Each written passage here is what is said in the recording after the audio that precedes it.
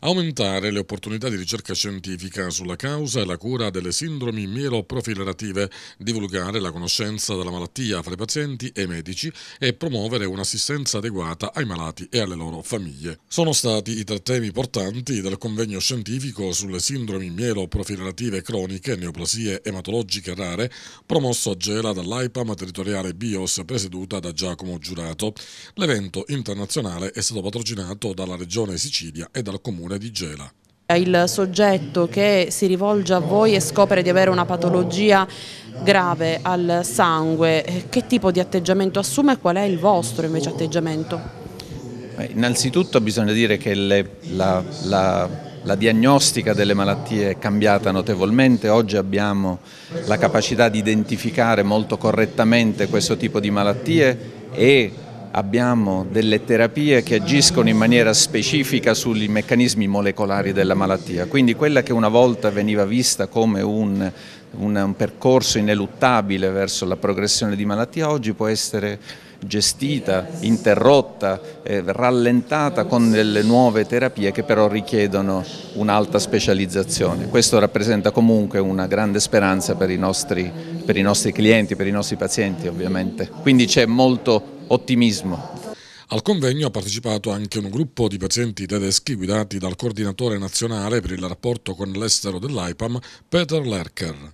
Questo gruppo di pazienti tedeschi ha voluto scegliere la nostra città per condividere con noi questo momento importante di scambio di informazioni scientifiche, ma soprattutto uno scambio di emozioni, di sensazioni, di come ognuno di noi vive la malattia, quindi lo, lo scambio di queste informazioni aiuta moltissimo.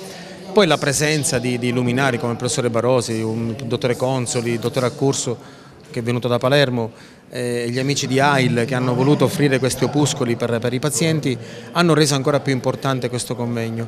Ma l'elemento più importante veramente di, di, questo, di, questa, di questo appuntamento è la presenza dei pazienti.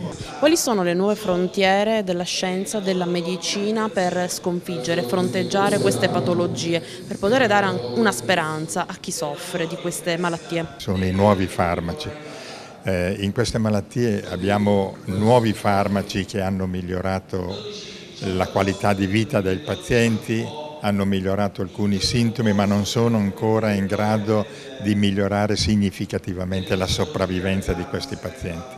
E quindi la, la speranza, la, la, lo sforzo che viene fatto è quello di sperimentare nuovi farmaci che possono chiaramente migliorare la sopravvivenza dei pazienti.